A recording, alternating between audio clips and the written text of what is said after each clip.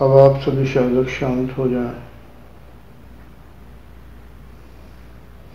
देखो, जब ओम शब्द का इसी तरह से उच्चारण करते हैं, जब मन की एकाग्रता इस मंत्र के द्वारा बढ़ती है तो हमारा शरीर जो निचला भाग है, ऊपर की ओर उठने जैसा लगता है जो पैर के घुटने हैं, ऊपर की ओर खिंचाव देने लगते हैं ऐसा लगता है कि हमारा शरीर हल्का होने लगा है और ऊपर की ओर उठ रहा है।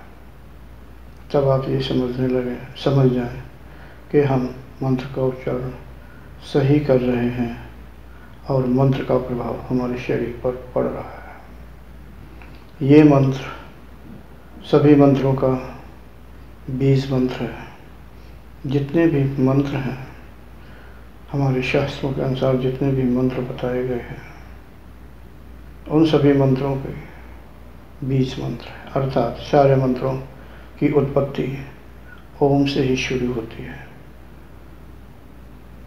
ओम के बिना कोई भी मंत्र पूर्ण नहीं है। निश्चय ही सभी मंत्रों में इसीलिए श्रेष्ठ मंत्र गया लेकिन इस मंत्र का प्रयोग ज़्यादातर तभी साधक करते हैं जब उसे उग्र साधना करनी होती है। लेकिन फिर भी आप सभी साधक हमारे पास दस दिन के लिए आए हुए हैं। इसलिए इस मंत्र की इसी प्रकार से काफ़ी समय तक बार बार उच्चारण करते रहें, यानी मंत्र का प्रयोग करते रहें। आपको एक निश्चित समय तक मंत्र का उच्चारण करना होगा। हाँ अब आगा, अगला मंत्र, शक्ति मंत्र होगा। शक्ति मंत्र का मतलब है कुंडली शक्ति के लिए है। यानी जो ब्रह्मांड को धारण करने वाली है, प्रत्येक जीवों में जो शक्ति विराजमान होती है, उसी शक्ति की बात मैं कर रहा हूँ। वो यही कुंडलनी शक्ति है। साधक को इस मंत्र का ज़रूर जाप करना चाहिए। इस मंत्र का जाप जितना ज़्यादा साधक करेगा, उसे उतना ही ज़्यादा लाभ होगा।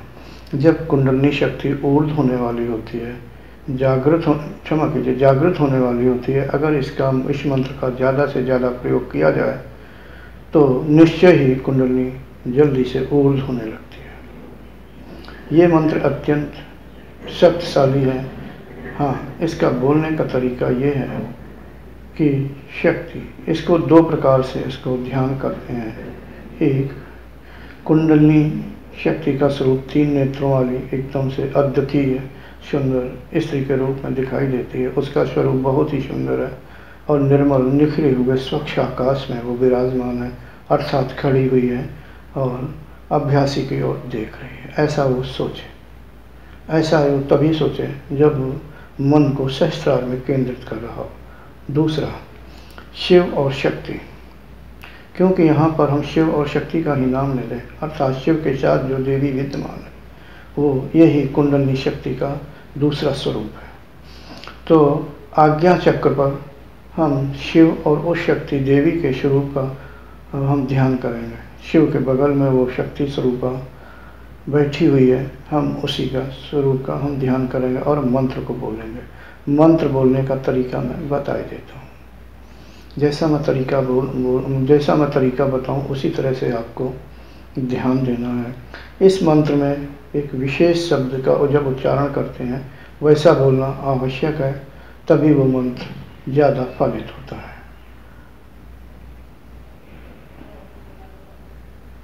हाँ देखो मैं मंत्र बोल रहा हूँ। पहले मंत्र बोल के बताता हूँ। ओम शिव शक्ति ओम शिव शक्ति।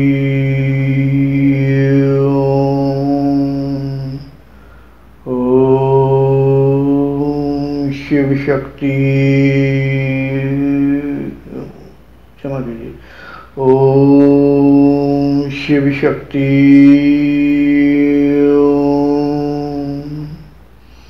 ओम शिव शक्ति।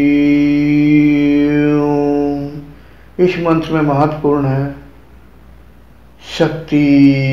ओम जो मैं ती शब्द का प्रयोग करता हूँ। ओम शिव शक्ति। ओम ती को थोड़ा दीर्घ करना है। हाँ। और आज्ञा चक्र पर यही सोचना है, काल्पनिक चित्र बनाना है, बना, बनाना है कि भगवान शंकर या शिव बैठे हुए हैं, उनके बगल में आदिशक्ति कुंडलनी देवी विराजमान है। ओ ओम शिव शक्ति। अब आप मेरे साथ इस मंत्र को दोहराया या बोल? बोल।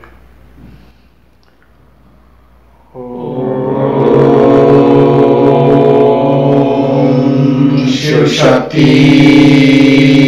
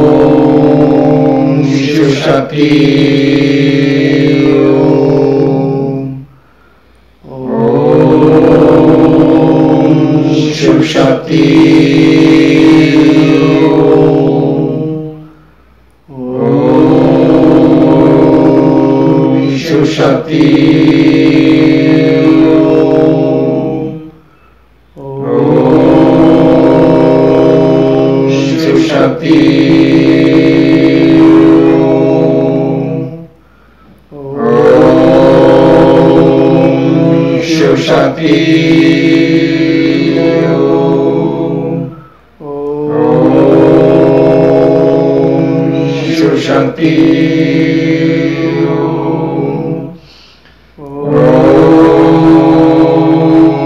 Shakti Om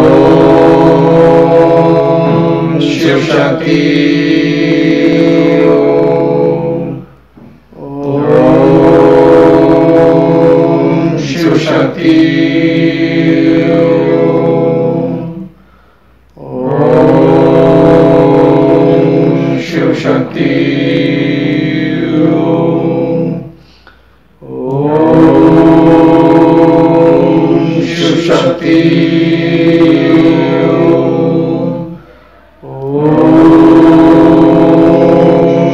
शक्ति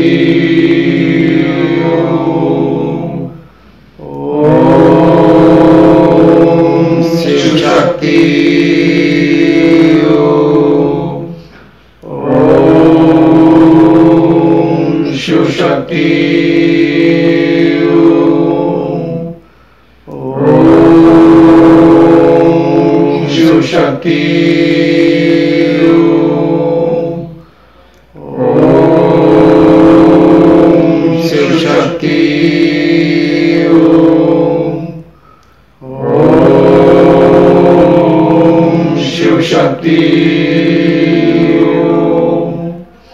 Om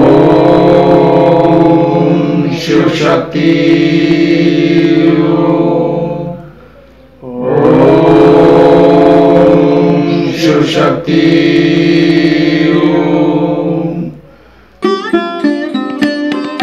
Thanks for watching. Remember to like, comment and subscribe.